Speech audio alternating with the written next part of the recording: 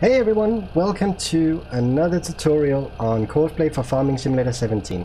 In today's tutorial I'm going to show you how to use the seeding mode for the Courseplay. First thing we want to do is open the Courseplay HUD by right clicking your mouse button or click on your right mouse button and you get the HUD up here. Now the mode you want to be in down here, these are all the modes for the Courseplay.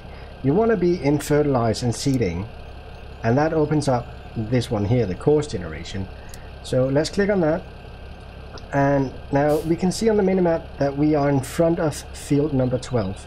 So we want to select field 12 here. Now to verify that it is field number 12, we can click on the eyeball here and you can see we have a blue line around the field. So there we go, let's click that out, out of the way again. Now the working width is the width of the tool behind this. So if we click the calculator, it will automatically uh, show the width of the machine behind us. 3 meters is what we have here. Now I want to set it down to 2.9 meters and see it's going into manual mode here. The 2.9 meters is just to verify, just to have a little bit of overlap, just in case he misses something the working here. So the starting corner is going to be the southernmost eastern corner, right? And then we want to head west Oh wait, that was completely opposite. The southernmost western corner and we want to head east. Oh my god, that was horrible. Anyway, southwest is where we are now, over here, and we want to head east. So you could go north if you wanted to, so it would go that way there. Now that's just your personal preferences. I want to head east because that's the long distance of the field. I feel like I, I won't, the, the worker won't have to turn as much as if I go north and south. So I'm going to go east and west. west. So return to the first point? Yes, we want to do that. Uh, so if we didn't, he would stop down in this corner there. Now returning to the first point brings him back to here when he's done. Um, headlands, we could have headlands, but in this case we don't have anything surrounding the field that could cause us any problems, no obstacles or, or anything like that.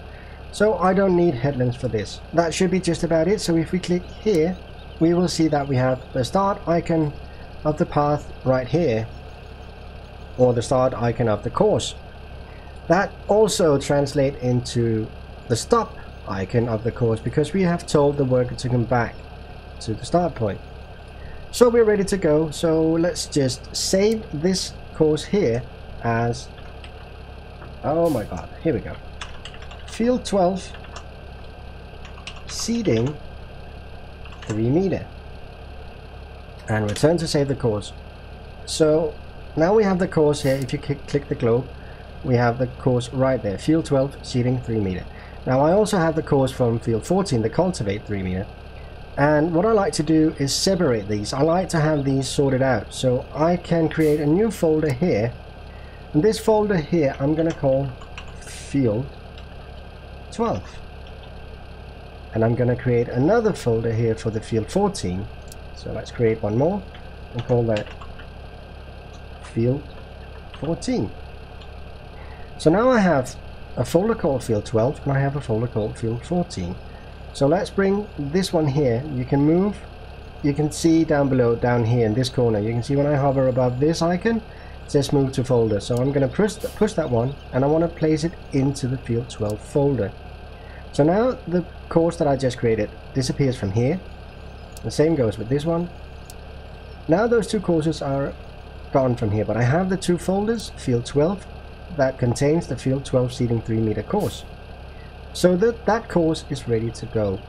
Now if I am to click that icon, that removes the course from the tractor, so it now currently has no course loaded. I can load the course by clicking that folder icon, and we're back to go. So if I go into here and say start at the first waypoint and drive course, he will start seeding as you can tell here and it's a she. She will start seeding and the seeding is going.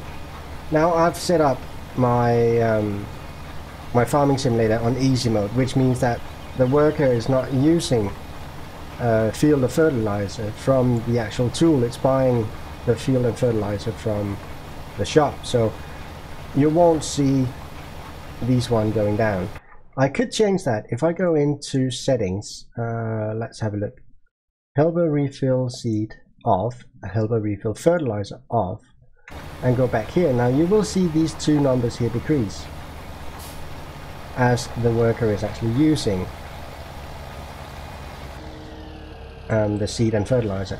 So now we're at the end of the first lane and she is going to reverse back and line up the seeder for the next line that goes the other direction. And once she's done with that, well guess what? She's going to return to the start point of this field here.